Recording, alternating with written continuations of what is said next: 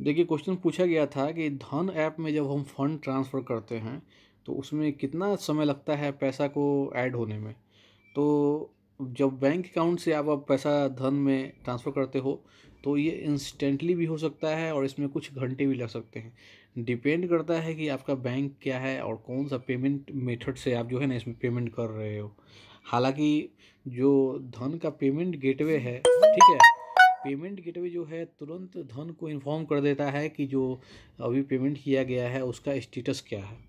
अगर status successful हो जाता है तो तुरंत पैसा धन में आपका ऐड हो जाता है। तुरंत अपना आप ट्रेडिंग और इन्वेस्टिंग कर सकते हो, समझे?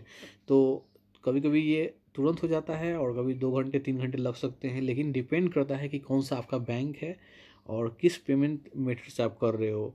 पेमेंट मेथड का मतलब हुआ कि यूपीआई से कर रहे हो, कि इंटरनेट बैंकिंग से कर रहे हो, NEFT I M P S R T G S से कर रहे हो तो इस पर डिपेंड करता है। तो यह जो है, आपके तरफ़ से जो भी पेमेंट गेटवे होगा, जनरली यू पी आई से तुरंत हो जाता है। है ना? और दूसरे मेथड से भी अगर पेमेंट जाएगा तो पेमेंट गेटवे जो है, वो तुरंत गेट, धन जो कंपनी है, उसको इन्फॉर्म कर देता है कि भैया पेमेंट हुआ है, सक्सेसफुल है, तुरंत पैसा ऐड हो जाएगा, तुरंत आप इन्वेस्ट कर सकते हो, ट्रेडिंग कर सकते हो। ये सिस्टम होता है। ठीक है? और अगर आपको धन में अपना डेबिट अकाउंट खोलना है तो मैं लिंक दे दिया हूँ रेफरल लिंक डिस्क्रिप्शन में, आप उसको फॉलो कर लीजिए और अपना डेबिट अकाउंट दो मिनट के अंदर आप अपने यहाँ पर खोल सकते हो। कोई क्वेश्चन हो तो कॉमेंट कीजिए। जय हिंद।